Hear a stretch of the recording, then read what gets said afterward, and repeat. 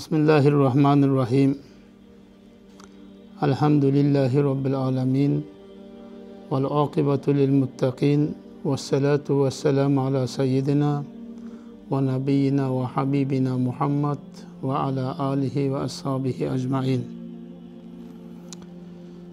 aziz mo'min musulmonlar assalomu alaykum va rahmatullohi va barakatuh. Haqiqatan rabiul avval oyi hazrati payg'ambarimiz shafoatgohimiz muhammad mustafa sollallohu alayhi vasallamning tavallud topgan oylari. Ana shu oyda butun dunyo musulmonlari hazrati payg'ambarimizning bir fazilatlaridan sharofatlaridan bahramand bo'lish niyatida savob umidida shu oyda mavludi sharif tadbirlarini o'tkazadilar. Biz ham o'zbekiston musulmonlari idorasi nomidan va shaxsan kamina o'z nomimdan siz aziz mo'min musulmonlarni mana shunday bir fazilatlik muborak oyning kirib kelishi bilan chin qalbimizdan muborakbod etamiz. Parvardigori olam mana shu oydagi bo'ladigan savob ajrlardan barcha barchangizni o'zi bahramand aylagan bo'lsin.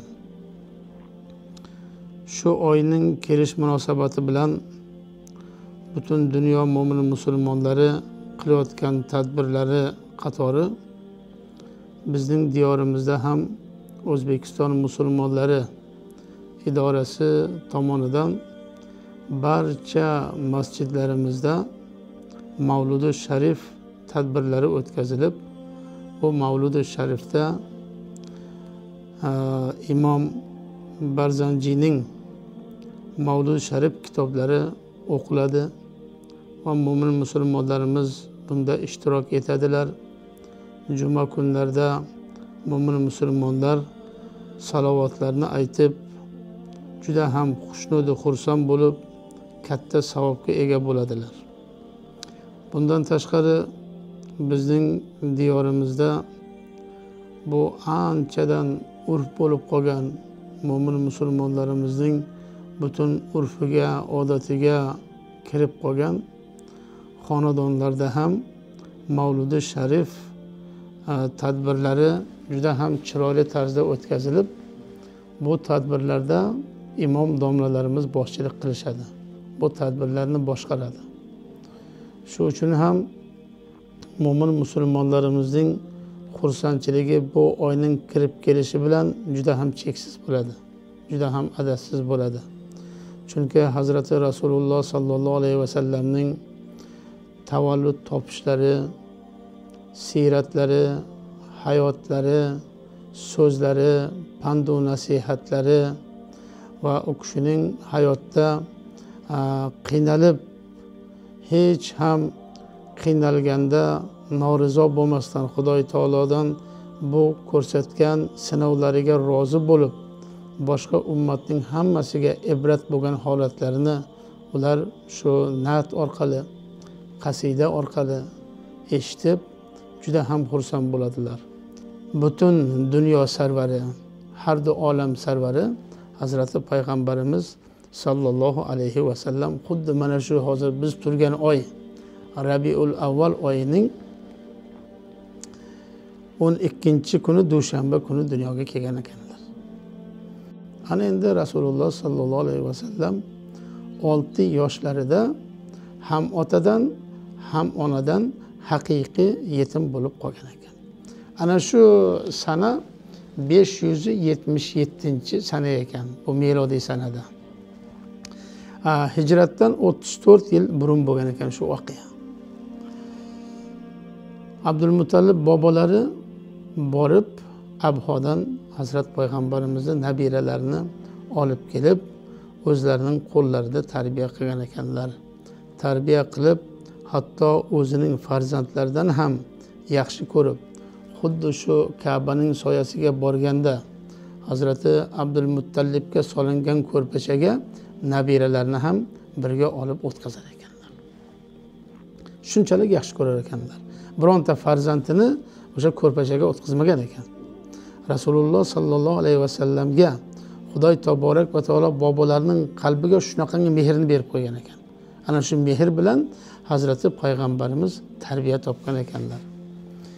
Ikki yildan keyin bobolari abdul muttalib ham vafot qilib qoladilar. Va amakilari abu tolibning qaramog'ida qolgan ekanlar. Abu tolibning qaramog'ida qolib abu tolibga ham xudoy taborak va taolo qalblariga hazrat payg'ambarimiz sollallohu alayhi vasallamni yaxshi ko'rishlikni mehrni solib qo'ygan ekanlar. Qarang amakilari ham o'zining farzandlaridan jafardan ham hazrati alidan ham uqayldan ham hammasidan hazrat payg'ambarimizni yaxshi ko'rar ekanlar. Qayerga borsalar birga olib borar ekanlar. Mana endi qarangki qur'oni karim azimu shanda ham allohu taboraka va taolo marhamat qiladiki qul bifadlillahi va birahmatihi fabizalika falyafrahu huwa khayrun mimma yajmaun deyiladi. Hazrat payg'ambarimiz sollallohu alayhi vasallamga aytadilarki ollohning fazli bilan ollohning rahmati bilan va shuningdek mo'min musulmonlar xursand bo'lsinlar. Ollohning fazli kimga? Hazrat payg'ambarimizga berilgan.